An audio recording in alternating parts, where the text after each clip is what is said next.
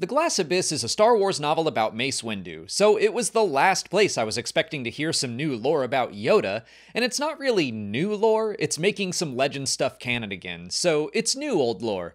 Anyway, The Glass Abyss includes a mention of Yoda's old master, N'Kata Del Gormo. A passage near the end of the book reads Yoda's living space was a modest and hidden dwelling with few decorations. One exception was a sand sculpture of a star system he recognized as Hysalria. Mace had not seen it before, but it was provocative. Yoda was a bit slippery about his early days, but rumor had it that one of his early instructors was N'Kata Del Gormo, said to have been a Hysalrian. That's interesting wording, keeping Yoda's past mysterious and steeped in rumor, but it also lines up well with what we knew about N'Kata Del Gormo from before, because his story was considered to be an in universe legend.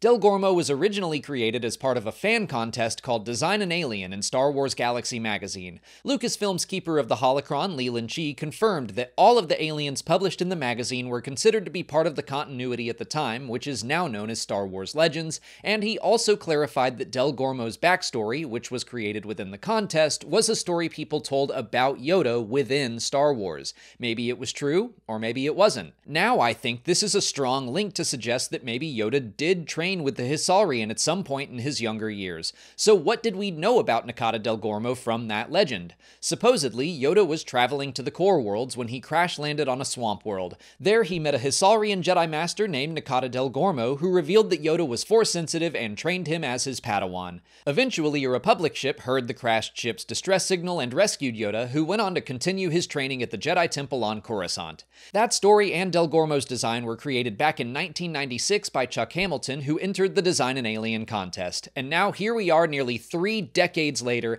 and we can see how Chuck's creations are still impacting Star Wars. I think that's awesome.